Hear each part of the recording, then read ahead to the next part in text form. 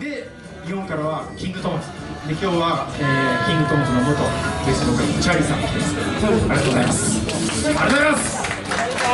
まあ、今日いろんな人来てるんですけども。でその新規厚生年金のステージにも立ってで今日ここのステージにも立つ方が2人おられるんですけどもそのうちの1人この方を呼ばずには来られません。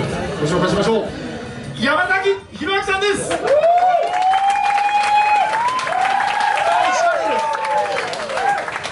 こんばんは。何やってんですか月曜日ですよ。あ違う火曜日だ。火曜日もう間違えちゃったからそれで落っこち落ちて。えー、もう僕らはね、はい。あの時々ドゥアップ聞いたり聞かなかったりもしたねこの30何年ですけどもずっとねキープオンだから素晴らしいですよね。それしかできないんだと思います。ね。で僕のところにもあの山崎さんに質問しますけども、はい。あのどんな質問ありますかってちょっとねフェイスブックで投げかけたら、はい。まあ、やっぱりっていう感じで、はい。山崎さんいろいろやってきてこうドゥアップの中で好きなグループとか好きな曲とかなんか思い入れがあるちょっとピアノの右手がちょっと強く連打したくなっちゃうんで そんな曲とかグループってあるんですか？どうですかね。でもやっぱりねたくさんいるじゃないですか。でああのジャケットあのグループのあのジャケット好きだよなとかスパニエルズとかあるんですけどやっぱりねさっき言っちゃったけど一度会っちゃうとねどうしても情が入ってやっぱあのチャーリー・トーマスがいるという人それ知り合いです、まあ、あとはあれですかね早く亡くなったティーンエイジャーズのねフランキー・ライモンドが大好きですかね切りないでしょだってここで言ったら。ね。もうなんかねあので今日あれなんですよ。山崎みたいな先生みたいな人がいるから。上に、はい。あのシャネルズのファーストアルバム持ってきたんですけど、はいはいはい。そしたらそのファーストのライナーを書いてくださってた、あ本藤さんいらっしゃるんですよ皆さんもうありがとう素晴らしいですよ。もう今のねお客さんの「マジですか?」っていうあの言葉「まだ生きてんですか?」って言葉と本当にですね皆さん健康でね最後ね最後まで。はいで山崎さんなんかは、はい。あの日本にこのロックンロールなブームがありつつも、その後こうドゥアップっていう大きなうねりを見てるじゃないですか。そうなんですその辺ねちょっと僕も聞いてみたいなと。僕ね16でやっぱり原宿とかちょっとまあ遅いのか早いのか分かんないですけど出た時にね。あのもうアメリカングラスティが特に上陸してたわけですよでアメリカングラスティというとやっぱりロックンロールオールディーズで感覚で皆さんあのサントラ版とか聞いてたと思うんですけどあの中にドゥアップっていっぱい含まれてたわけですよね。それは後で気づくんですよ。ドゥアップって言葉すら70年代あの詳しい人以外知らなかったんで。そこでシャナナが突然ウッドストックとともに現れて、はい、もうそれシャナナもロックンロールグループかなって僕らは思ってたわけです、それをいち早くシャネルズがカバーして。そうね。顔黒く塗る前に徳島のシャツでやってたんですよね。そうなんです。ヤマハのコンテストに出て。そこをだんだん追求していっておドゥーアップっていうジャンルだっていうとこだと思うんですけどね。70年代後半ですかね。そうですね。僕もだからロックンロールがグッてきてロックンロールの中のコーラスの多い曲がなんか好きだなと思ったら、あそれってドゥアップって言うんだなっていう感じだったんですよ正確に言うとネオドゥーワップグループがシャネルズでありあの頃はいいましたよねいろいろ。ボッパーズだとか。もう一個どっかいましたよね。えっとあそう。ダーツそうね。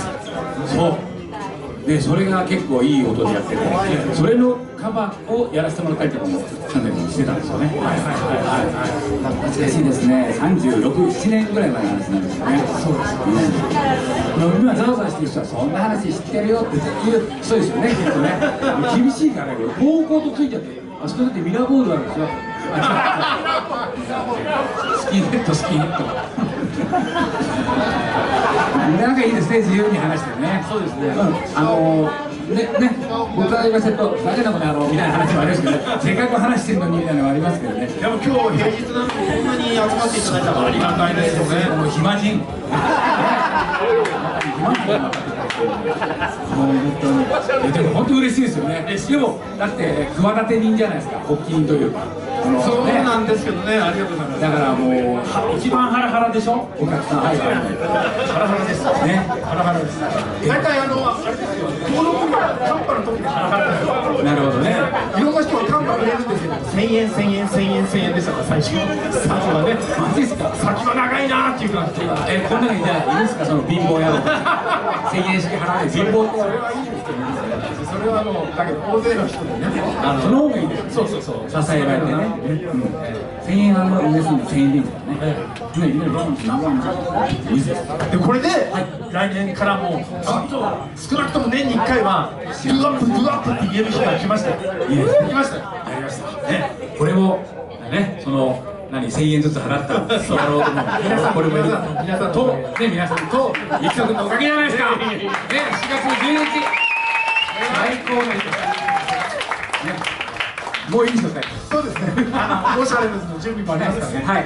というわけで山崎弘明さんですお願いします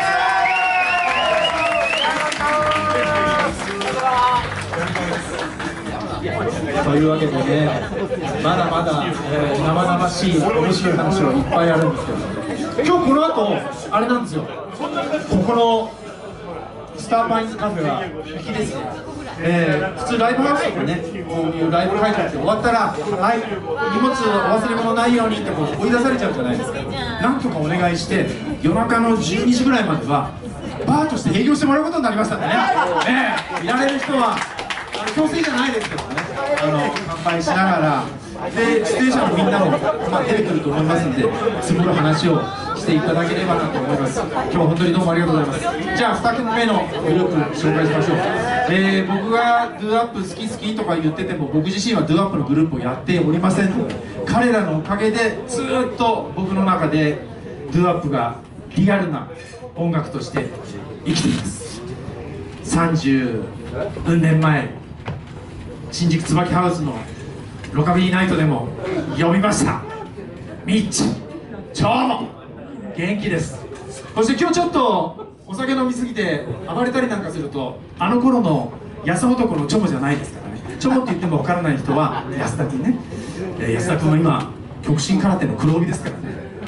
つまみ出されますから。あごめんなさい。新極真空手ね。そうそうそう。新つけないとね後で水落ち食らっちゃう新極真空手の黒帯ですからね。紹介しましょう。では you up Now here I come keep on. Do do do aí.